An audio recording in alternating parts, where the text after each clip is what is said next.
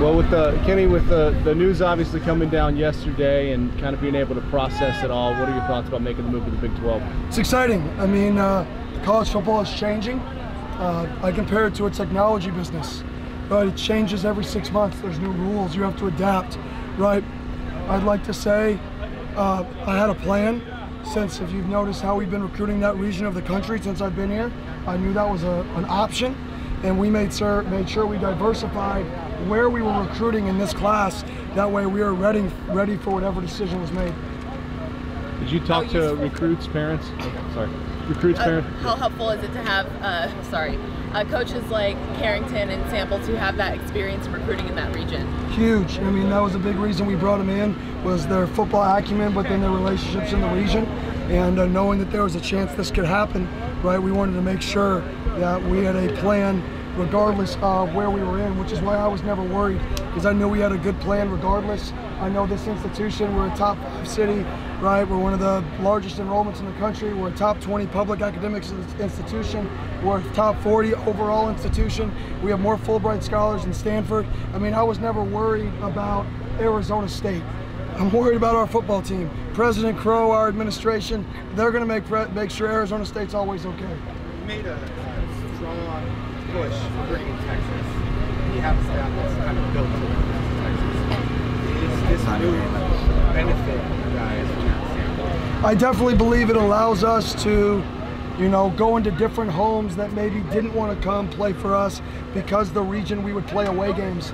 Now us traveling, uh, you know, to Texas, traveling to the Oklahomas. Oh, we need to recruit Oklahoma now. That's a place that I, in my past, signed five guys out of when I was at Memphis. So we definitely have to get a little bit more aggressive in that region of the country. But make no beans about it. I mean, we're going to recruit Arizona. We still have to recruit California. You know, if we look at where we need to recruit, I think we're what we're recruiting right now is kind of the staple. And may we get, may we have the opportunity to recruit, a few more people in the Texas, Oklahoma, Louisiana region, yes, and uh, we'll take advantage of that.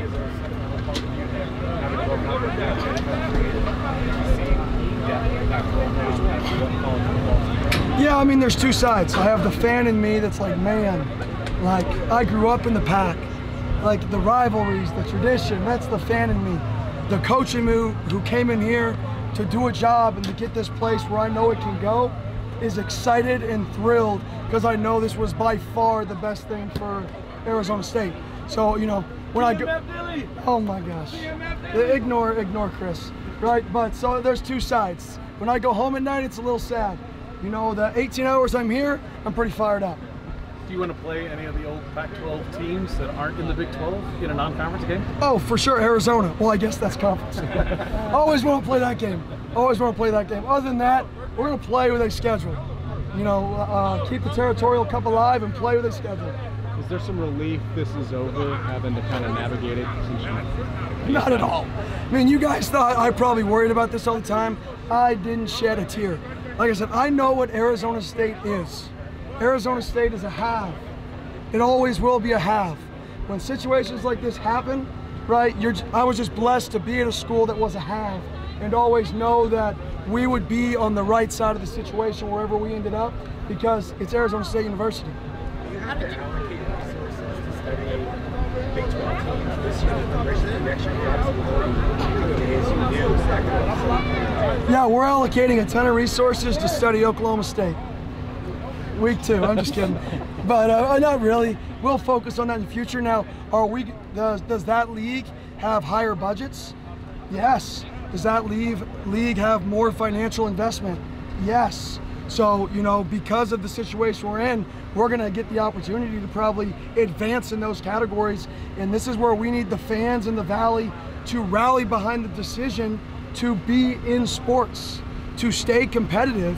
Right now, we need the fans in the Valley to get behind it, fill up the stands, show support, because we're going into football heaven, Texas. If we're not ready and our fans aren't ready, right, and everybody is not ready, right, we're going to be in for a rude awakening. How did you find out about the developments? Were there alerts to your phone? Were you getting texts from Ray, Michael Crow? How are you kind of following the developments? Yeah, I- I'm not going to get into that. Uh, you know, I'm just excited, excited that uh, we're in the situation we're in. Coach, uh, yesterday at Arizona, Coach Jedd Fisch said that all the uh, recent developments in college football, whether that be realignment, uh, NIL, or the transfer portal, beneficial kind of to the student athletes. Do you feel that same way? Yeah, I mean, I think there's pros and cons to everything. I don't think you can ever make a decision and everybody happy. It's impossible, right? That's part of making decisions. What you do as a leader, what President Crow has to do, what Ray Anderson has to do, is make a decision that's best, not for football, not for softball, not for hockey, not for basketball, but for Arizona State. For Arizona State. And if you look at what Arizona State is about, it's about serving its community, right? If you look at you know, our vision and our mission statement as a university, it's about serving the community. And every decision they're going to make is about what is best for our community and what is best for Arizona State University. That's good. On the field, coach, what kind of progress do you think you guys made this week in the first week A of lot. practice?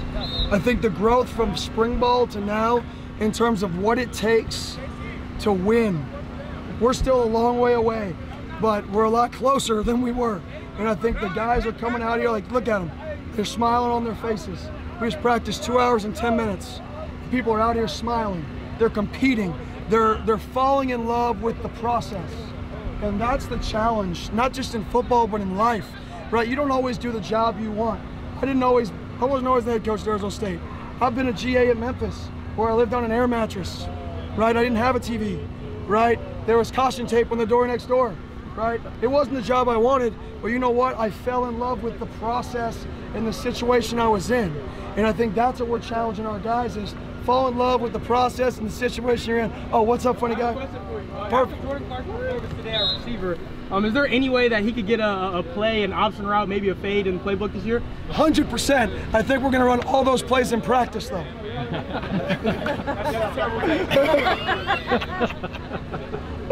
I threw him off. Thanks, Coach. See ya. Have a good day.